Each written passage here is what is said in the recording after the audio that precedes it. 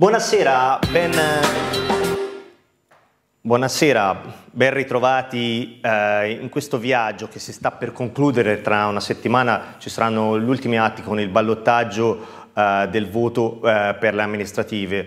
Stasera abbiamo un'edizione speciale perché abbiamo i due comuni eh, che potevano andare al voto, quindi abbiamo Poggibonsi e Colle Vallelsa. Eh, partiamo eh, con Poggibonsi presentando eh, le due eh, candidate che sono arrivate a questa fase finale, Angela Picardi e Susanna Cenni. Buonasera. Con loro eh, affronteremo ecco, quello che eh, è successo eh, una settimana fa, ma soprattutto quello che potrà succedere eh, da qui a quando si voterà. Ricordiamo che rispetto alla tornata precedente, dove si è votato tra sabato e domenica, a questo giro si voterà fra domenica e lunedì, quindi anche questo cambiamento eh, potrà comportare degli effetti. E poi, come si dice sempre, al ballottaggio si riparte da 0 a 0. Angela, come eh, arriva questo ballottaggio e eh, cosa, cosa, ha fatto ecco, in questa settimana? Uh... in questa settimana abbiamo continuato l'attività che abbiamo svolto fino, fino, a domenica e quindi abbiamo continuato ad avere rapporti con, con i cittadini, ad avere un contatto, a cercare di capire quali sono le, le varie problematiche e abbiamo preso atto di quelli che sono tutti i cambiamenti che l'amministrazione uscente diciamo, ha messo in atto in questi ultimi giorni e quindi abbiamo una città asfaltata anche se a morse e bocconi, però come dire, eh, l'amministrazione uscente eh, ha approfittato di, questa, di questi ultimi giorni per cercare di risolvere alcune criticità. Quindi noi siamo pronti per il, per il ballottaggio, ci stiamo, ci stiamo, impegnando e quindi continueremo ad andare avanti eh, facendoci, avendo contatti con, con, le persone, quindi con tutti i settori della, della produttività che tra l'altro ho già incontrato più volte, quindi sia separatamente che in occasione degli, degli, incontri e quindi a presentare quello che è il nostro programma e quali sono i motivi per i quali è necessario un cambiamento di, eh, di vista, un cambiamento di governance in, a Poggivonzi. Se Angela Picardi eh, è una civica con il sostegno del centrodestra, Susanna Cenni è da sempre una... Uh, esponente del Partito Democratico, in questo caso non c'è solo il Partito Democratico a sostenerla, no. ma ci sono altre liste. Quindi com'è stata la sua settimana? Beh, la mia settimana è stata una settimana di analisi dei numeri, eh, di confronto con i nostri candidati, quelli delle liste dei partiti e la lista civica, io credo che abbiamo fatto un buon risultato, per pochissimi voti non siamo riusciti diciamo, a chiudere la partita nel primo tempo e stiamo continuando a fare quello che abbiamo fatto durante tutta la campagna elettorale. Stare fra la gente, ascoltare, invitare le persone a tornare a votare, perché sappiamo che è giugno, eh, sappiamo che molte persone cominciano ad andare in vacanza, però tornare a votare al ballottaggio è importante, quindi noi stiamo lavorando per dare questo tipo di messaggio. Quindi tornate a votare perché il voto è importante, è espressione di democrazia e soprattutto perché si sceglie fra due idee della città molto molto diverse. Come evidenziava la candidata Cenni, la vittoria al primo turno è, eh, lei è sfumata per, eh, per, pochi voti, si è fermata poco sotto il 49% e a tratti lungo lo spoglio è stata anche sopra il 50%. Eh, è delusa da questo risultato? No, io non ho mai pensato che ci fossero risultati scontati. Chi fa politica lo sa e soprattutto ho fatto una lunga campagna elettorale, quindi sono stata moltissimo fra le persone, ho ascoltato apprezzamenti, ho ascoltato anche criticità e quando si fa la campagna elettorale onestamente, con passione, in mezzo alle persone, si mette nel conto tutto. Del resto eh, molti comuni più o meno delle nostre dimensioni hanno più o meno fatto come noi, eh, penso a Empoli, penso a Pontedera, eh, comuni di dimensioni ma anche di caratteristiche economiche economiche e sociali molto simili alla nostra si sono fermati a pochi voti. Abbiamo un voto importante che è quasi un 49%, 2700 in voti in più eh, dei nostri avversari politici e quindi stiamo lavorando per fare un ottimo risultato al ballottaggio. C'è un dato, come sottolineava Cenni, il fatto che molti comuni della Toscana eh, siano andati al ballottaggio sopra i 15.000 abitanti, chiaramente dove il centro-sinistra è spesso in vantaggio, ma il centro-destra non ha mollato. È un po' quello che mi ha detto lei quando l'ho intervistata in settimana, mi ha detto il, il primo risultato si è già ottenuto arrivando al ballottaggio, che non è poca da cosa per, per un comune come Poggiomonzi.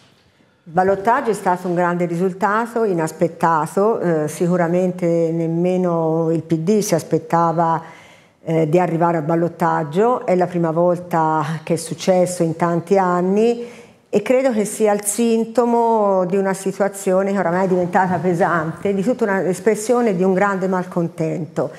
Eh, la candidata del, del, PD ha detto che diciamo, una manciata di voti sono stati quelli che hanno impedito di, di, confer di sì, confermarsi al primo turno.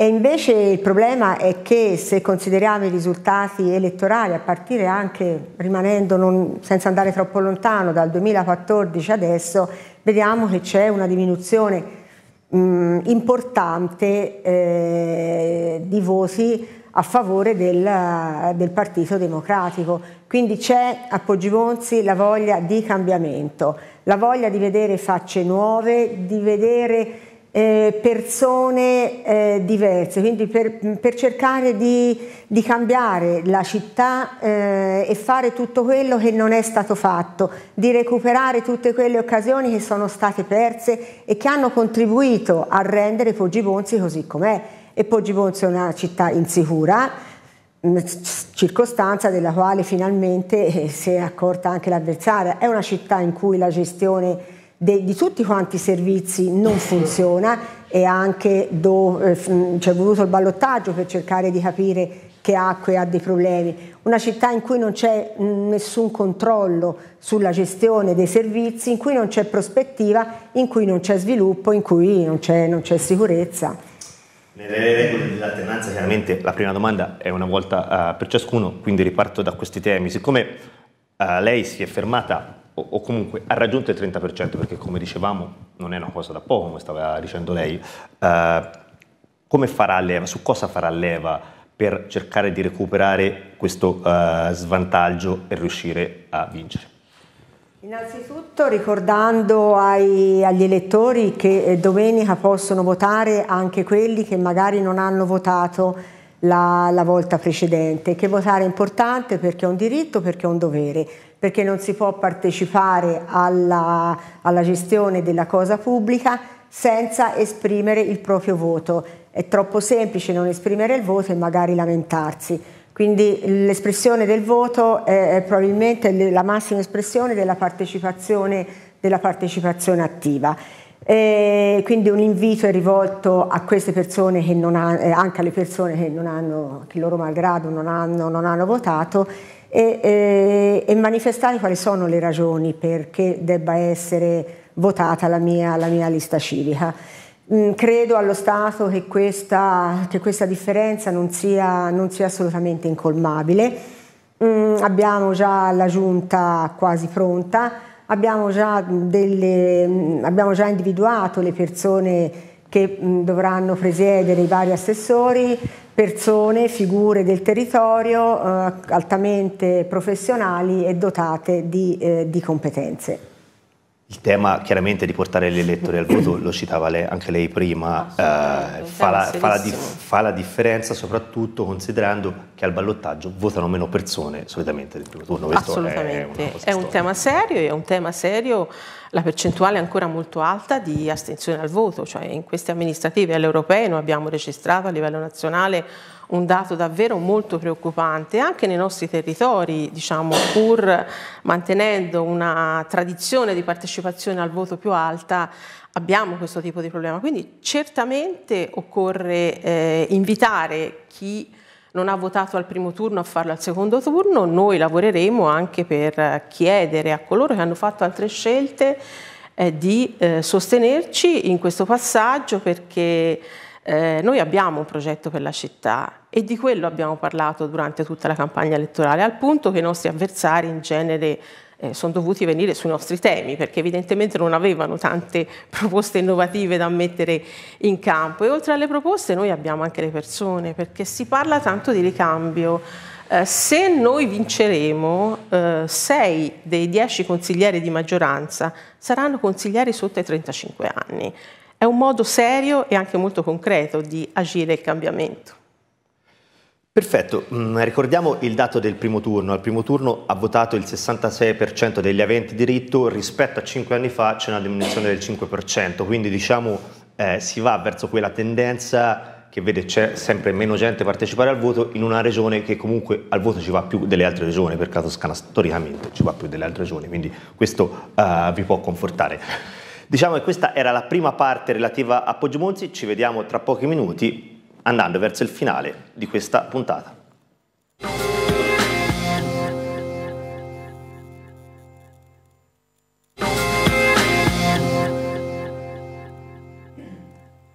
Bentornati con la seconda e ultima parte di In Politica dedicata al ballottaggio di Poggibonce. Siamo in compagnia delle candidate Angela Picardi e Susanna Cenni e quindi riparto da, da Cenni, che è la candidata del centro-sinistra.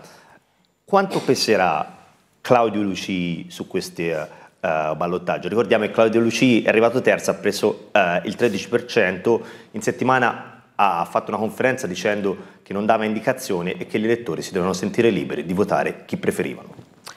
Eh, noi siamo consapevoli, io sono molto consapevole che noi abbiamo svolto una campagna elettorale con tre soggetti che in qualche modo eh, operavano, si proponevano, facevano la loro campagna elettorale in gran parte nell'area del centro-sinistra e questa cosa un po' ci ha penalizzato, ci ha diciamo, rappresentato anche elementi di, di riflessione su, su, tante questioni.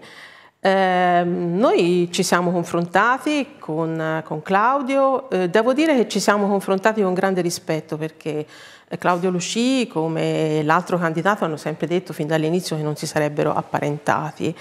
Eh, però ci siamo confrontati sui temi perché anche durante la campagna elettorale, quando fondamentalmente emergono gli elementi di divisione più che quelli che ci accomunano, abbiamo rilevato una comunanza su tanti temi, penso alla partecipazione, eh, penso ad altre questioni su cui penso al valore della sanità pubblica e universalistica ed altri temi. Noi ripartiamo da lì eh, parlando agli elettori e sapendo che queste risposte non si possono eh, trovare a destra. Lo facciamo con serenità, con tranquillità, ma soprattutto eh, parlando agli elettori e parlando di contenuti ancora una volta.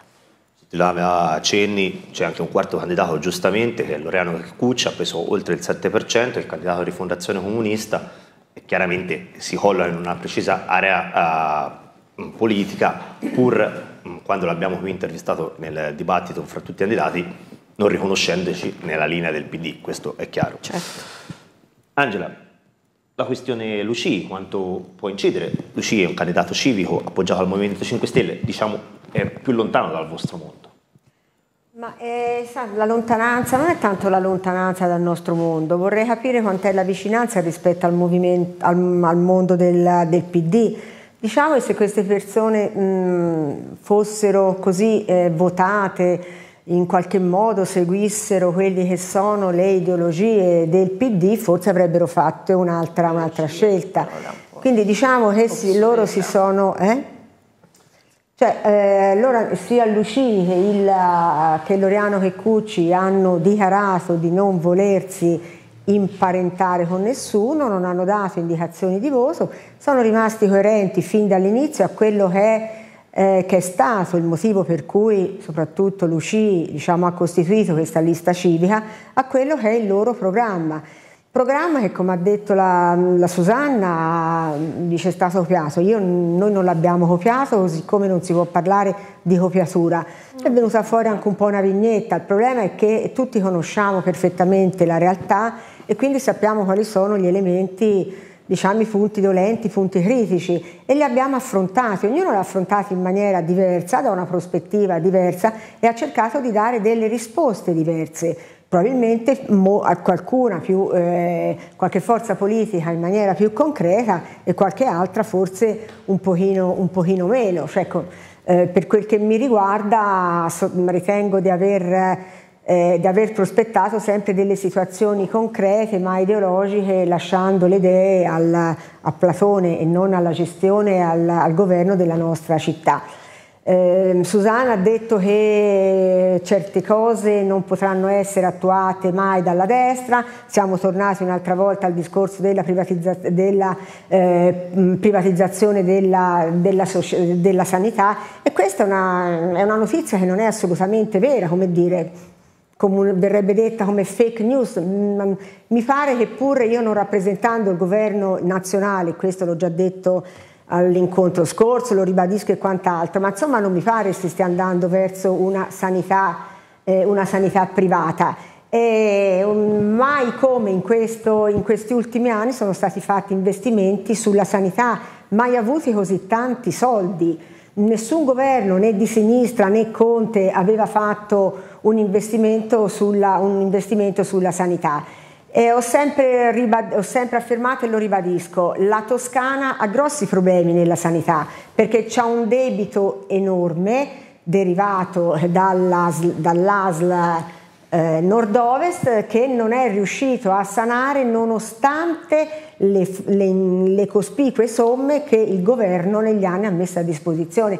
C'è una gestione un pochino così, come dire, allegra, ma, ma non c'è. La, poi l'ultima cosa, la sanità è regionale, ricordiamocelo.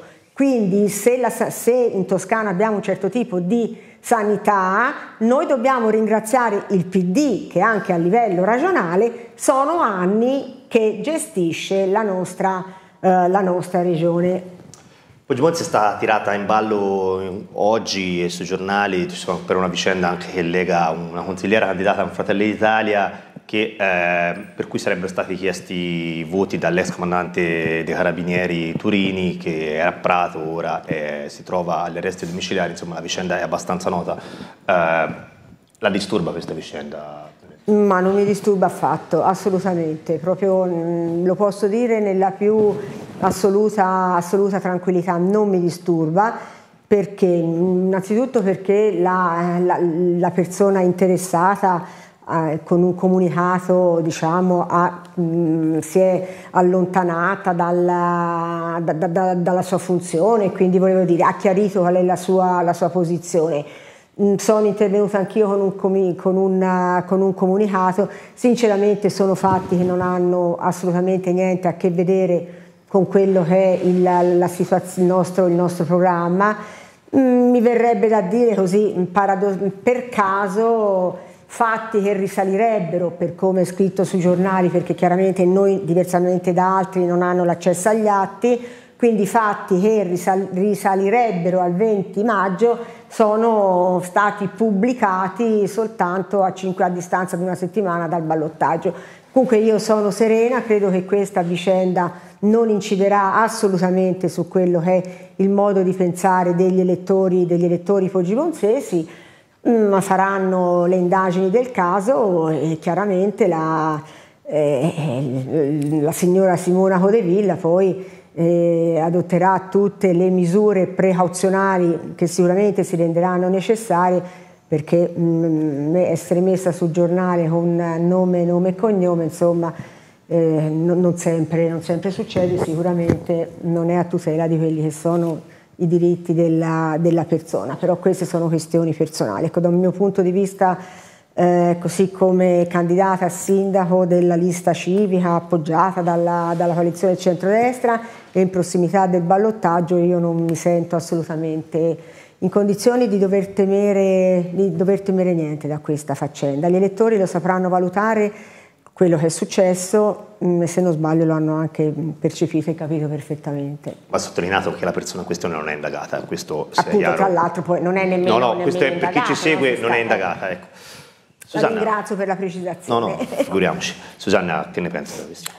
Allora, intanto voglio dire una cosa, perché la nostra candidata continua a dire che lei è una uh, candidata civica e poi ci sono delle forze politiche che la sostengono. Però quel 30% che lei ha ricevuto, se non ci fosse stato Fratelli d'Italia, non sarebbe esistito perché c'è stato un risultato molto magro della sua lista civica. Cosa penso di questa vicenda? Io penso che queste cose vadano maneggiate sempre con grande cura perché è una pubblicazione di un'intercettazione, perché c'è una persona che non è interessata da nessun tipo di comunicazione di reato e quindi io credo che chi usa queste cose eh, strumentalmente diventa, diciamo, ne fa un uso che rischia di essere veramente eh, sciacallaggio allo stato puro. Eh, certo, eh, quello che emerge da settimane su questa vicenda, quindi non solo mi riferisco alla, alla vicenda eh, di questi giorni uscita sul giornale non è bello, diciamo, emerge qualcosa di, diciamo, di moralmente discutibile no? nel comportamento di una figura eh, pubblica. Io mi auguro, sono convinta che questa candidata saprà dimostrare tutto quello che, che ha dichiarato. Certo, diciamo, non emerge un, una bella immagine, questo sì, però sinceramente non credo che siano questi temi eh, su cui discutere politicamente. Certo, chiaramente, però era una nota che eh, andava data perché la vicenda è emersa sui giornali e quindi mh, mm, collegandosi a Poggi Monzi non si poteva mh, mm, fare a meno di menzionarla.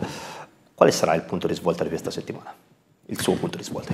Ma il punto di svolta è l'incontrare le persone. Io anche stasera avrò incontri nei quartieri, noi continuiamo a lavorare su questo e continueremo a raccontare il più possibile quali sono le differenze fra noi e gli altri.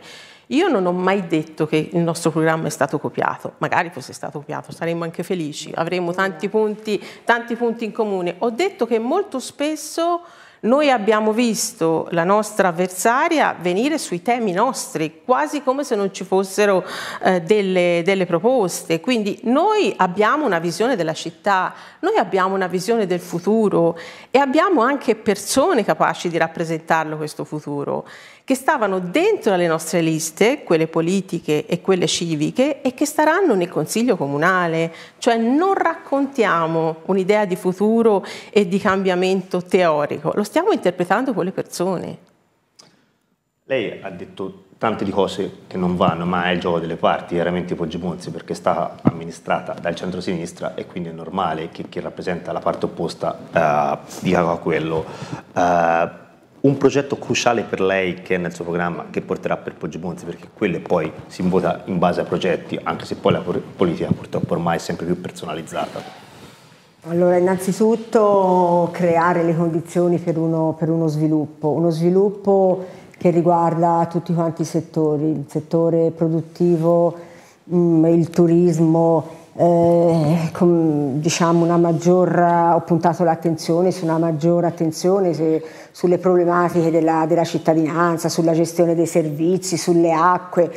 Mm, hanno asfaltato via Senese, non hanno finito di asfaltare via Senese nei giorni scorsi, stamattina ci sono, sono intervenuti perché c'è un problema. Dieci giorni fa non avevano finito di asfaltare via Le Marconi e poi dopo è, è comparso un cartello in cui diceva che dovevano fare delle condutture, cioè la mano destra non sa quel che fa la sinistra noi non abbiamo una visione, ma eh, che dire, noi l'abbiamo avuta la visione, noi abbiamo sempre parlato di quelli che erano i problemi, non abbiamo mai pensato ad una, ad una, ad una città ideale, ad, noi pensiamo ad una Poggi Bonzi che deve recuperare l'importanza che in tutti questi anni ha perso e quindi rimettere al centro il turismo, riportare il cuore della città nel centro storico, un riportare e parlare di sicurezza. Adesso ci, ci accor- si accorgono dall'altra parte che abbiamo un problema di sicurezza, ma guarda un po', sono settimane che tutte le forze, comprese Loriano, Cucci e compreso anche Luci, ha posto l'accento su questo fatto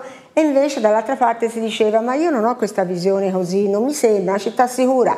Benissimo, perfetto, sette giorni di prognosi a un povero malcapitato eh, poliziotto comunque un, uno delle forze dell'ordine che ha cercato diciamo, di mettere ordine e di tutelare l'incolumità della cittadinanza.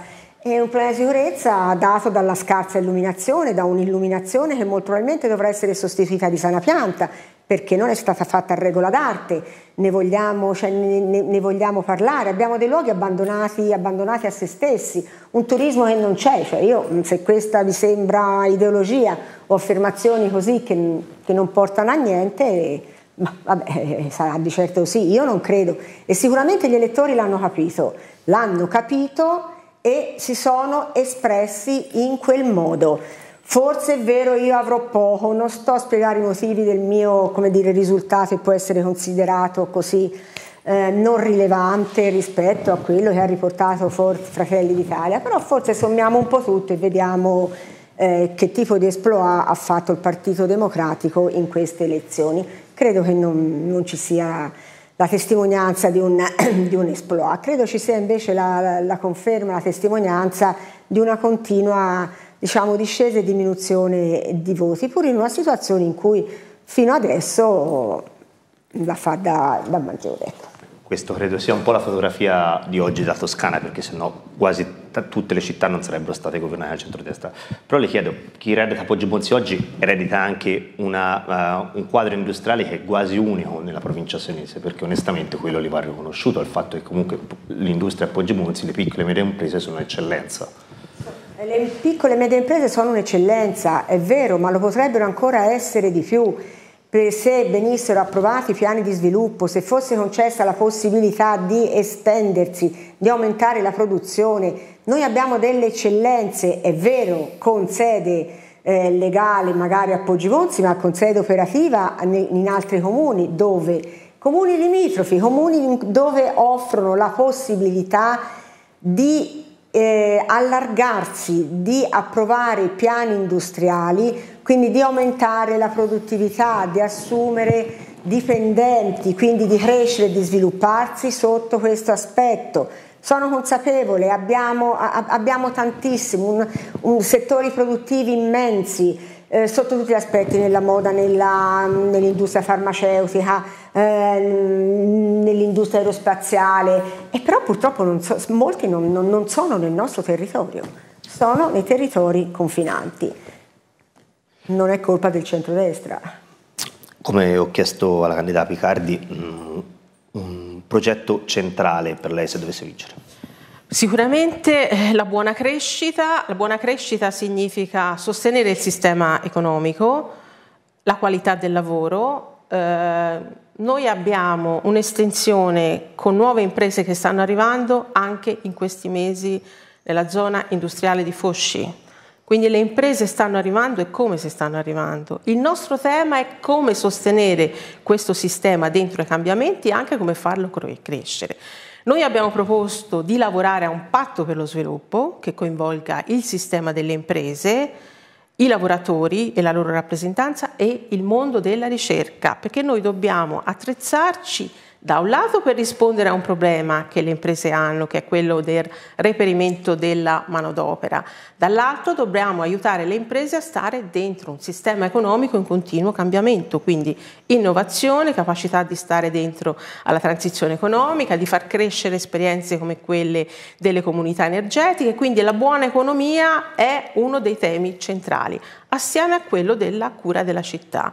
Noi, io sono convinta, noi siamo convinti che occorra implementare le risorse per la manutenzione, per la cura e anche per la partecipazione nella nostra città. Concludo con un punto sulla sicurezza, eh, perché questo è il racconto che la destra fa ovunque in questi ballottaggi. Quello che è accaduto giovedì scorso è molto grave, ma quello che è accaduto è che una persona che non doveva trovarsi lì, perché è una persona con precedenti penali, ha aggredito le forze dell'ordine, che io anche stasera voglio ringraziare per il grandissimo lavoro che fanno. Noi avremo la necessità anche di riportare, per esempio, una postazione di polizia dentro al centro storico. È uno dei temi che noi da sempre abbiamo inserito nel nostro programma elettorale. Per finire, un elemento di discontinuità con uh, l'amministrazione Buzzasali è comunque plasmato Poggio Bonzi perché un'amministrazione che dura dieci anni per forza plasma un territorio. Sì, l'ha plasmata anche con tanti investimenti che io credo rappresentino diciamo, uno dei lasciti più importanti della precedente eh, amministrazione. Io credo che Eh, I prossimi anni dovranno caratterizzarsi soprattutto per due elementi. Eh, il primo elemento riguarda la partecipazione civica. Il mondo intero, in modo particolare tante città europee, stanno lavorando su strumenti anche innovativi di partecipazione dal basso.